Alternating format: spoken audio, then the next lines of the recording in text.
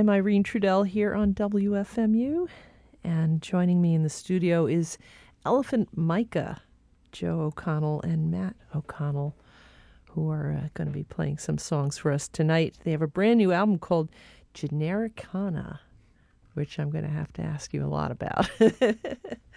How are you guys doing tonight?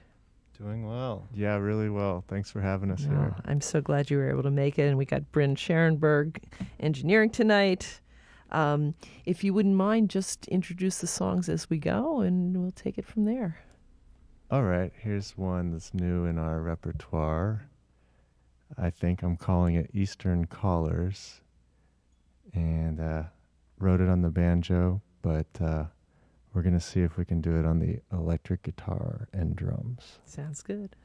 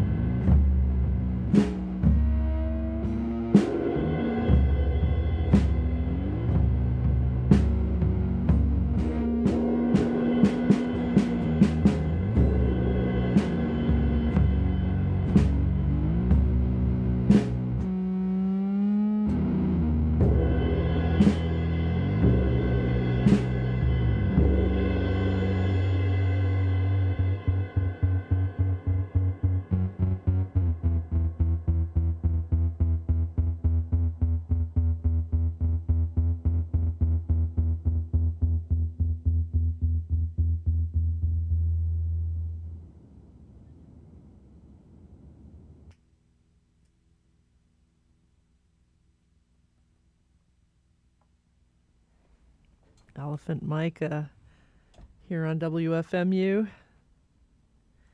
And what was that last tune? That was uh, a couple different pieces of uh, kind of a rewritten track. Originally, it was called If I Were a Surfer. Uh-huh. And uh, we kind of chopped it up into pieces and have been making new songs out of it. I And, see. uh, And so so it doesn't quite have a title, I'm guessing, uh, or it doesn't quite have a title, Yeah. but it sort of appears on the record in a couple different forms, uh, one on each side, and and so it's kind of it's, uh, it's part of a an effort to kind of take songs that existed in more straightforward forms and to reimagine them and uh, kind of use them for spare parts. Aha. Okay. Well, uh, the new album we're talking about is is Genericana, and uh, kind of a different direction in some ways, but not entirely. Because uh, most of most of what I know about the band's music is is it's a more naturalistic sound, a little little woodsy, and uh, there's some some weird little elements creeping in there. Some some strange keyboardy sounds and uh, effects and and it seems like a concept album to me. Um, is that is that on the money? Am I think uh, close? so. Yeah. Yeah. I think it was an album an album searching for a concept. mm-hmm. It's looking for its concept and I think I'm still looking for it, but you know, the album is a, a reflection of that search. But s- oh, yeah, go ahead. oh, I like. I didn't didn't think of it until now, but um, what you said about the woodsiness, I think one way to think about the what makes this album different is that it features instruments that aren't made of wood. Uh huh. well, but you have one made of wood in your hands there. You've got a guitar, and and Matt's got some uh, drums with wooden frames. So, but I understand what you're Yeah. you're saying. It's We had to make some concessions because the stuff that we used to make the album, we couldn't figure out how to get it to work again. oh okay. so we Are they like cast off uh, pieces and parts, uh, toys, and old instruments and yeah, and and stuff that yeah, it was just things that we didn't didn't know how to play really. Is that fair to say? Yeah, I would say so. There's a lot of uh, Craigslist hunting for new and unique items. Uh huh. Well, uh, yeah, I see you've got a a keyboard that uh, what what did you call it before? A, a arpeggiator. Oh yeah. Yeah. mhm.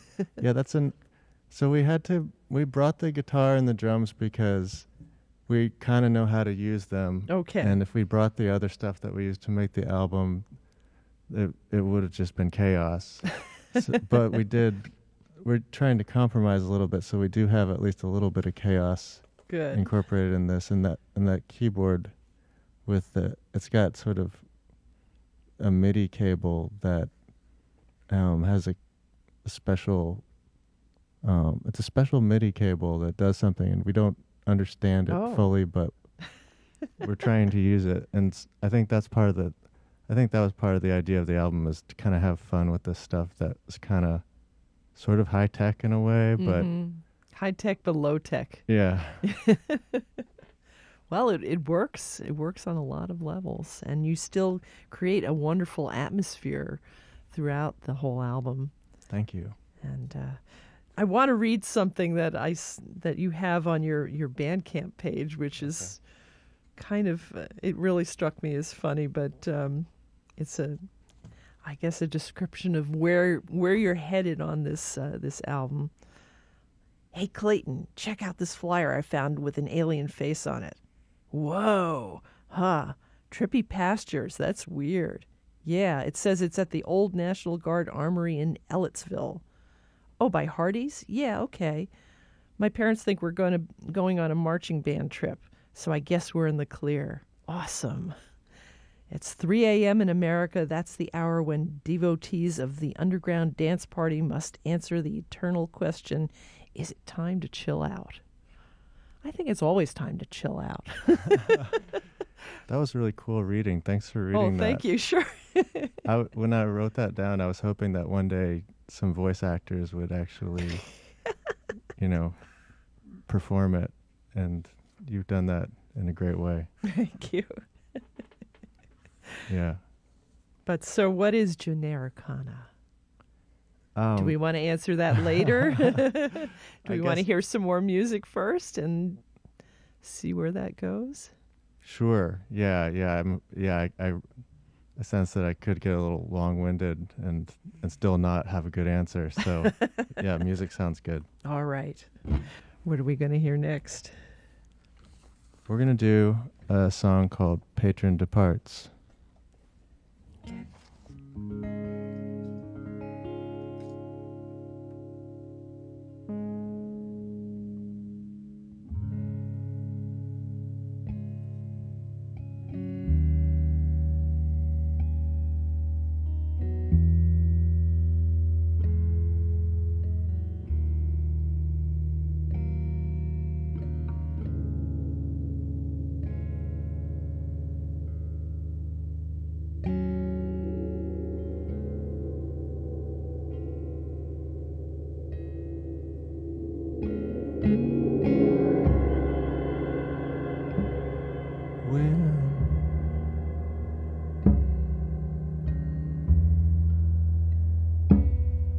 My patron. Departs,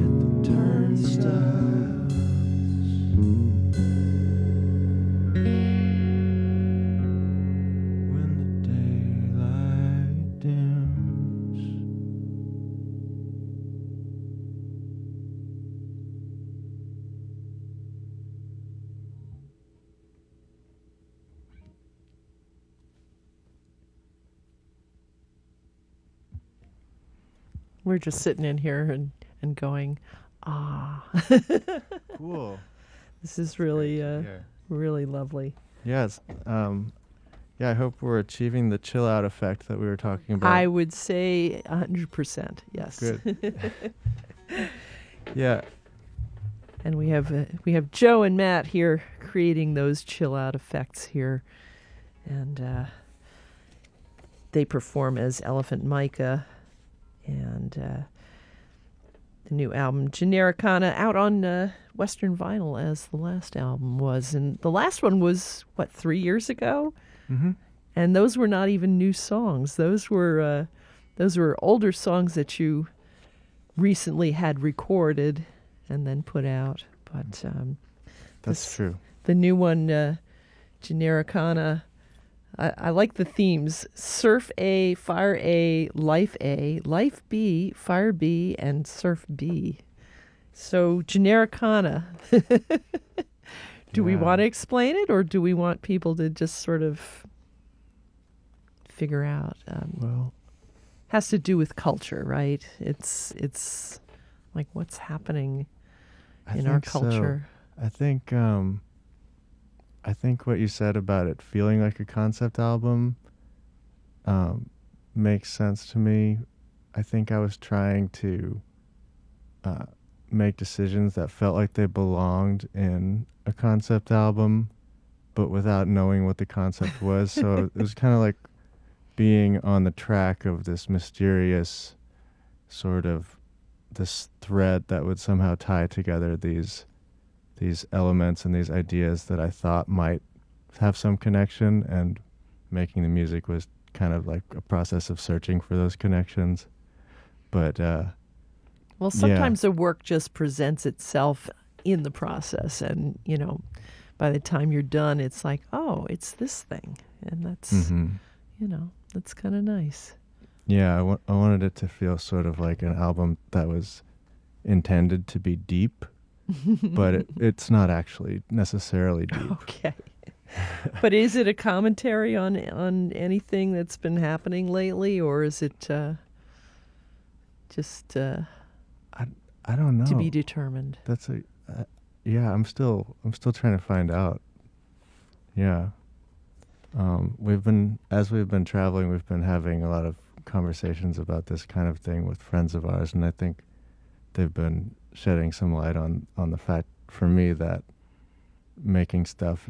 I don't know that you don't necessarily make stuff because you have a clear message or idea to deliver, but more because you're searching for it and I think that's definitely true. And I think I guess maybe I was searching for something that would connect sort of the idea of American identity Mm-hmm. to all of these different kind of, you know, the, like the passage you were reading earlier um, was sort of um, referencing uh, the rave culture that I saw in rural Indiana growing up, and sort of how that electronic dance music spread to small towns like the one we lived in. Mm-hmm. Um, yeah, so I think I was trying to meditate on what do all these things kind of, Right.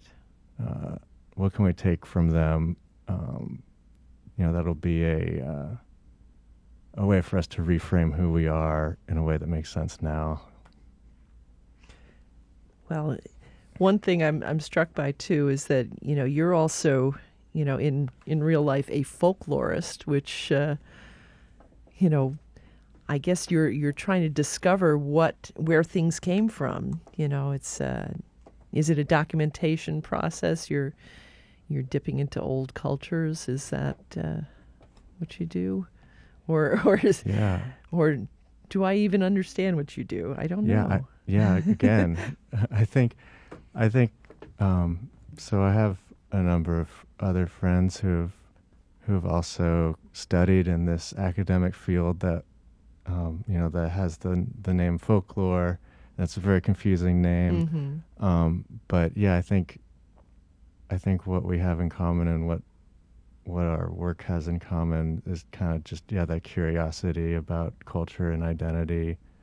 And so yeah, that was something that I did. Um, I did some graduate studies in and have have subsequently um, worked for folk arts organizations and done work trying to support other artists Mm-hmm.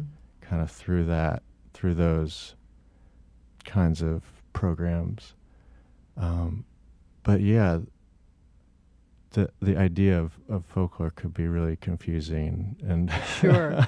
well, one, um, I was thinking of um, a duo I recently met, uh, Anna and Elizabeth. Do you know about Mhm. them? yeah And they do a similar thing in their own way. They they travel up and down the East Coast trying to discover hmm the um, the music of local cultures and you know hidden treasures and that sort of thing. And you know, I, I don't know if that's similar to what you do or not, but yeah sometimes yeah. I do I do a lot of different kinds of work for a day job to try to support my music habit and occasionally occasionally it looks kind of like that where right. you know you're out meeting artists and and uh, you know trying to um, collaborate with them on projects that are designed to support what they do um, yeah so i guess in some there are some similarities to kind of the historical notion of the folklorist who kind of goes out into the world and collects.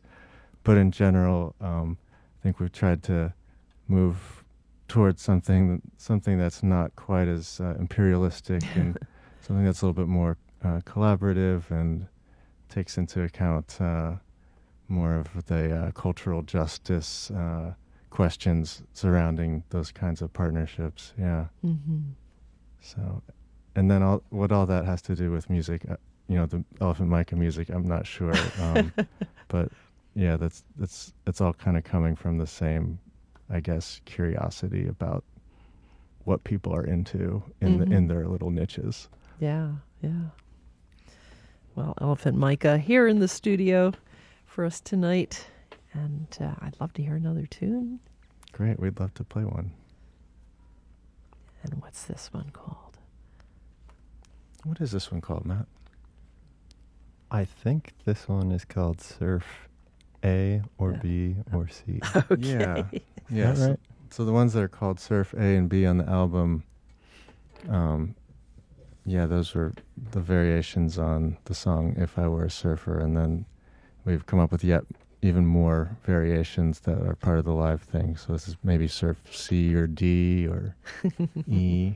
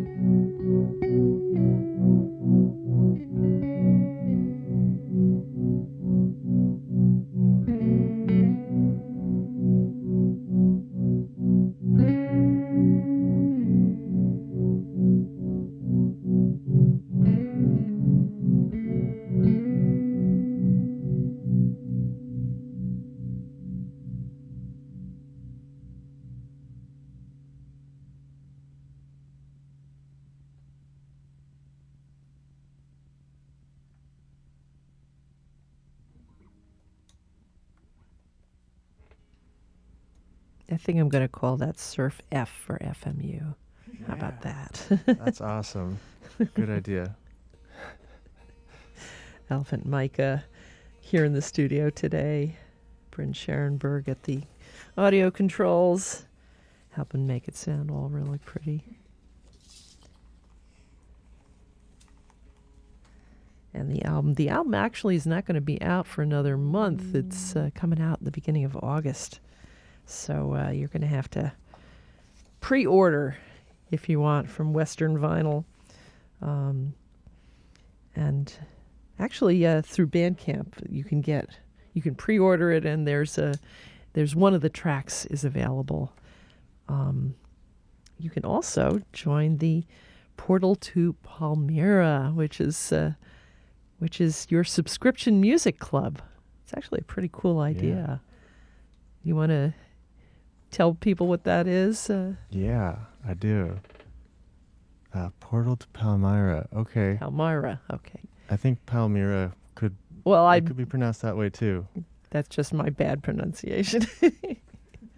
Uh, yeah, I set up this subscription to kind of give myself assignments that I could do quickly and to kind of keep me making stuff uh, w- while the kind of the production cycle of, of records um, you know it's it can take a while so i wanted to keep making stuff and i thought as as long as i'm making it i want to share it with people so I don't know. I wanted it to be sort of like a place, to feel like a place where you could go, and uh, so that's where the the idea of the portal came in. Uh, it's it's just fun. It's like a it's a fun uh, additional project to have going on, and well, it keeps you creative. Yeah. You know, and and whether they end up on an album or not, you know, they're their own entity for the time being. yeah, it, it keeps us uh, experimenting Sure. because it's sort of uh, low pressure. Uh, it's sort of like a low pressure, low stakes sort of thing because we're sharing it just with our, you know, our our club. Yeah, yeah, Yeah. And it's just five dollars for the year. That's pretty. That's pretty cheap. I wanted it to be cheaper, but um, apparently that's the minimum. Oh, I see. That yeah, yeah. But that's that's actually really great because you know I I signed up for it and and all these things are appearing in in my uh, in my uh, Bandcamp inbox. oh, that, you know, which is really nice. thanks for signing up. I didn't know that you did that. That is really Well, why really not? flattering. I Thank like I like to that. support musicians I like. So, Thanks a lot. but uh, you you folks out there can do the same thing. You just go to Bandcamp and uh, sign up for the portal to Palmyra, or actually through the Elephant Micah website, elephantmicah.com. Simple enough. Yeah, come on in. Yes. Come on into the, the portal. Hey, what what is where does Elephant Micah come from? Is that a is that Yeah, something you can answer? yeah. I'll. I can. I can answer that. okay. yeah. Um. So basically, the band is just named after someone else who who had the name Elephant Micah. Oh, they had adopted the name as a kind of persona, and it was a. a how old was was Elephant Micah? I think he was probably a five-year-old. Ah. Yeah, so he was a kid that Matt knew actually. Yeah, he. I went to preschool with him, and um, he adopted the identity of Elephant Micah at an early age. Okay. And, um, uh, got into a lot of trouble in preschool, Oops. um, like like the rest of us did. But um, and then I grew up with him throughout high school, and um, Joe had named his music project after him, and um, I think maybe to his surprise, but um, we still keep in touch. He's, he's Oh, a that's nice guy. He teaches at my mom's high school now. oh yeah. Yeah, he, he seemed like a real character, uh, and I think that was inspiring or kind of amusing to name a band after. Well, now we know. yeah. Elephant Micah is here in the studio playing some great music for us tonight. And what do we have next? Well, we're gonna do one more song, All right. and uh, this is a version of the song "Still Life Blues," uh, which again is one of these ones that we've kind of chopped up and reformatted and and added electronic uh, elements to. Uh, Matt Matt plays uh, uh, the homemade synthesizer that he built uh, on the on the album version of this. Um, How did Yeah. you build a synthesizer? Is it from a kit? Or uh, Um, it was it was a project for a couple of years. I moved Ah. to uh, the Triangle from Asheville, North Carolina, and um, Joe and I kind of dreamed up this new idea for a kind of a modal uh, Shruti box type synthesizer. mm, And um, so I moved to a new area, and I didn't really know that many people, and I was living in this house alone and just working on it for a good year, and um, built built this kind of custom digital synthesizer. Oh, fun. period. I admire your uh, your doing something like that. I can't follow through with projects. I'm very I'm very good at starting them and and abandoning them when I reach a This is one of the rare point. circumstances where the all of the elements align to make it Mm. happen. Yeah. And good that you're able to use it in in some of the music. So Mhm. cool. yeah, it's really cool. All right. Uh, one more from Elephant Micah here on WFMU. Okay, so this I guess this is called uh, Life F for FMU.